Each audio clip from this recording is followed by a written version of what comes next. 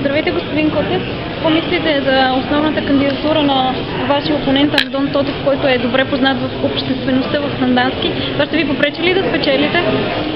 Ще да се въздържа от коментари за конкретни кандидатури, защото не са явни всички кандидати. Аз съм сигурен, че ще има и други кандидати, които се мъчат от изборната борба. Нека да стане известно всичко, тогава ще коментираме. Всеки си има своите положителни и отрицателни качества.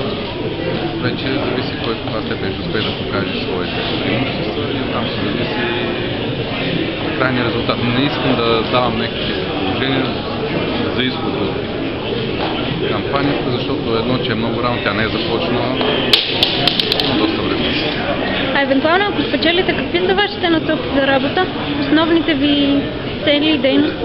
Искам да бъда по-последователен. В момента съм народен представител, съм поел някакви ангажименти към моите избиратели, които искам първо да изпълня текст, а за предизборната кампания тя запознат съм добре с проблемите на моите съграждани, бил съм общински съветник 3 години, така че мисля, ще отговоря на очакваните им в нашата програма. Но тя ще стане известна месец преди кампанията. Сега е рано. Благодаря много.